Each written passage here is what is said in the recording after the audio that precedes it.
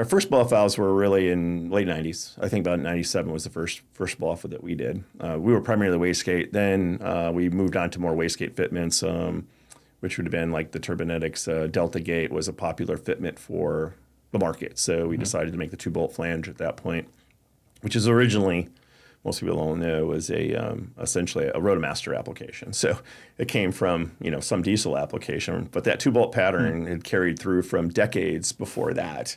Um, and it was a Rotomaster that was the actual fit pattern of the two bolt wastegate. I think that two bolt wastegate brought a lot of pain to a lot of people. Well, we did. So again, we looked at that. Not just went, because of you guys, oh. but just in general because those things are. It, you know, it's tough when you're throwing a bunch of boost at those.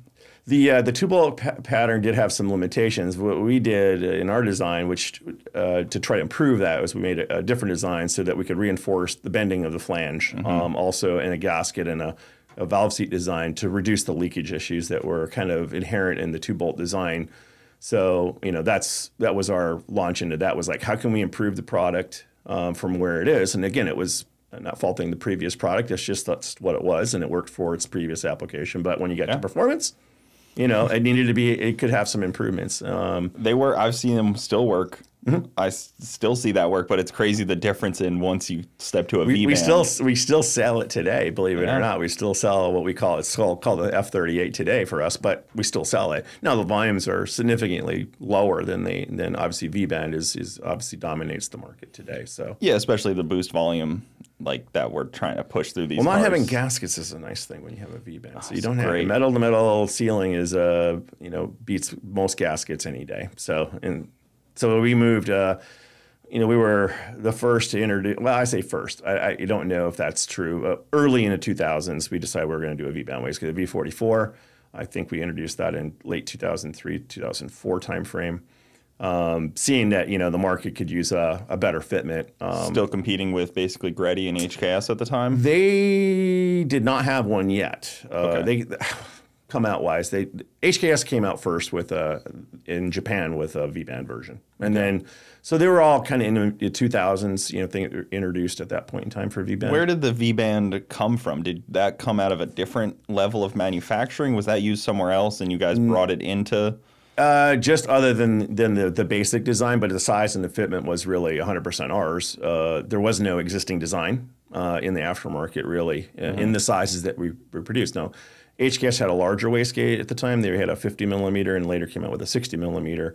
But on the smaller side, 38 millimeter and 44 millimeter, which is what most people needed at least at that point in time in the market, there was no fitment. So we created a fitment yeah. at that time. That size and everything. And that size, and it is today the fitment that most people have. Like so, if they're if they're if there's a competing wastegate product, it's actually the same fitment as ours. So we kind of generated that 38, 44 millimeter. Mm-hmm. There's sure some variations in numbers today, but the, it, it, interchanges with several of the other manufacturers who make wastegates today. But when you first decided to introduce V band, mm-hmm. did you already was that obvious? Was it like, oh, there's V bands already on like Porsches and stuff, um, or was no. it like? Uh, in fact, uh, Mar- no, Porsche didn't have anything V band. Everything was flanged with bolts. Uh, so you was, had to like kind of hunt around for this style. Well, we just flange. created it out of just like, V band in general. in general, I mean, so V bands existed, yeah, but they were generally used on aircraft. Okay, that's what I was wondering generally. where you kind of pulled yeah. that so from. the basic knowledge of, of V band flanges were, were called Marmon design flanges, which were V band,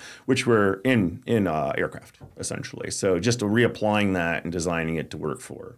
Okay, that's yeah. cool. That makes sense. I was wondering because like mm-hmm. I didn't know if that was like oh you know somebody used that already in automotive and you kind of adapted that, but that's cool that you ventured out of automotive to find something that was superior. again back to the two bolt was like you know it was not you know the flange design was not a good design I, I you know to do what we were doing in the program so high boost levels and yeah. gaskets right they just you did the best we could to to make it better but at the end of the day a V band it was 360 degree clamping when you do bolts, you have a space between each bolt where the gas wants to leave, right? Mm -hmm. It's gonna it's gonna warp the flange, the gasket blows out. That's where it does. Where in a V band, you get 360 degree clamping force. So it's just a much better design for any kind of tube yeah. that's going to hold pressure. well, it's obvious now also, but like when you were first trying to figure all that yeah. stuff out, I'm sure it wasn't as obvious. We'd seen it on some race cars. So actually, Okay. like you know, of the day back in the day, where like when uh, F1. So being a big F1 fan, like uh, Honda and a bunch of other companies in F1 had actually you know moved to V bands, and so you saw them in racing.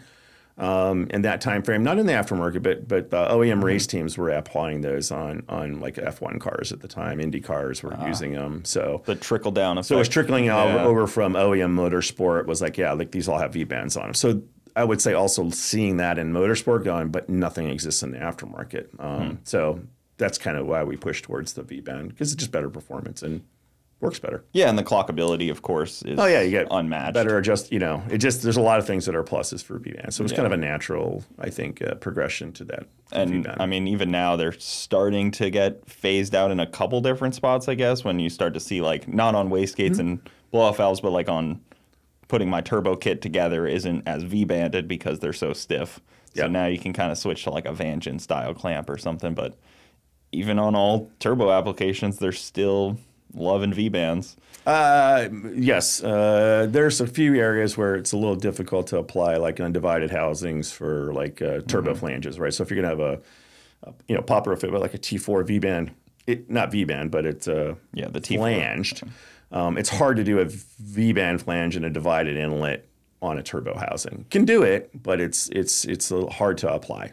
So That's tough in itself, the Mm-hmm. T4 flanges, because they're inevitably as tight as can be to try to get things Yeah. together, and it's heavy. So and it's it like- carries over. So for some of the problem with it is, is that it was a carryover design from many, many years before. So then you keep trying to work around that fitment to make it better. But it's still at the end of the day, there's always that when you're trying to put the turbo on the car, there's one bolt you can't get to, right? Mm-hmm. It's always like uh, I gotta have special ground wrench to get to that bolt on the third on the fourth bolt. Three tighten, four there's a pain.